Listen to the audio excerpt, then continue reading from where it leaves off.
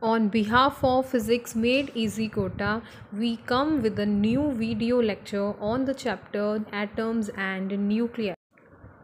First of all, we are going to discuss J.J. Thomson model of atom.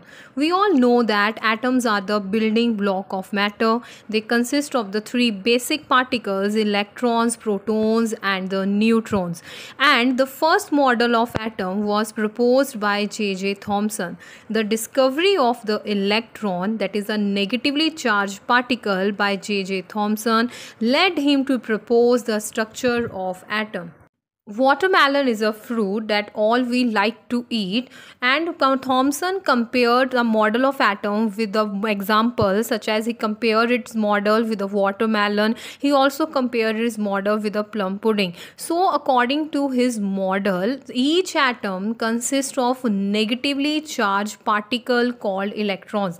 This is clearly observed in the atom model in this figure. So and we know that atom as a whole is a neutral. So there must be the positively charged particles in the atom such that the net charge on the atom is zero and atom remain neutral. So there are the positively charged particles and these positively charged particles have uniformly spread and they are of the uniform density in which the negative charges that is electrons are embedded just like the seeds are embedded in the watermelon fruit. And he also compared its model with the plum pudding model so it's sometimes also known as the plum pudding model Thomson also assumed that the harmonic oscillation of the electrons about their mean position caused the emission of the light. He also predicted that if a beam of alpha particle passes through an atom, it suffer only a small deflection due to weak electric forces exerted on it by positive charges. But along with this, there are some limitations of Thomson model. First of all, Rutherford, who is a student of J.J. Thomson, proved that the positive charges were not uniformly distributed in a sphere as suggested by Thomson. Thomson model could not explain the presence of discrete spectral lines emitted by hydrogen and other atoms. Also, this model could not explain the large angle scattering of alpha particles when incident on a thin metallic foil we can say that on a gold foil. Hence efforts were made to look for a better model of atom Rutherford and his associates studied the alpha particle scattering by thin gold foil to suggest a new model of atom.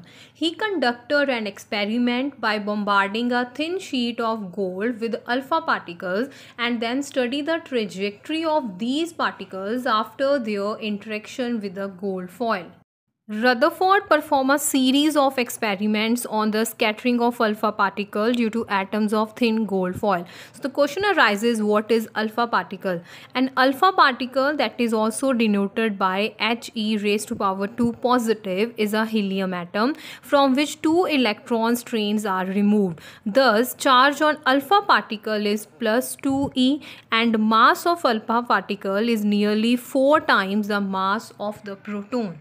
So this is the basic experimental setup by Rutherford and his associate. It consists of source of alpha particle obtained from a radioactive substance and the narrow beam of alpha particle was made to fall on a thin gold foil which is of the thickness 10 raised to power minus 8 meter. A circular screen coated with zinc sulfide was kept in such a way that it received the beam of alpha particles after passing through the thin gold foil. Alpha particles scattering in different direction were observed with the help of movable detector. When a beam of alpha particles are scattered by thin gold foil, these scattered alpha particles fall on a fluorescent screen and small flashes of lights are produced. Then these are observed through the movable detector. But some precautions must be here that this experiment was conducted inside a evacuated chamber to avoid the scattering of alpha particles due to atoms of the air. Rutherford and his associate made the following observation from the scattering experiment. The first one that the most of alpha particles pass through the gold foil undeflector. It is shown by the path A. It means that most of an atom is a empty space. Some of the alpha particles were deflected through small angle as shown in path B and for the path number C that few alpha particles were deflected through large angle and some of them even retrace their path. That is the angle of deflection was 180 degree. So these observations are given by the Rutherford from his scattering experiment also, the alpha particle is positively charged and having large mass as compared to the electron could only be deflected backward by some large repulsive forces. So Rutherford conclude that the positively charges in an atom were concentrated in a very small region at the center of the atom and this region is known as the nucleus. That's why the path number C is formed in this experiment.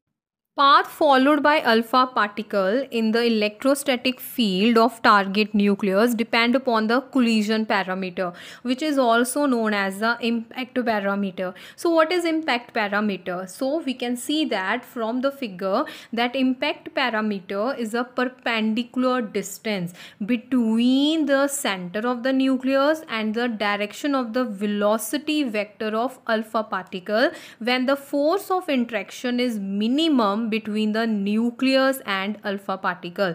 Here you can also observe the angle theta which is known as a scattering angle. So this is the angle between the direction of approach of alpha particle and the direction of scattered alpha particle.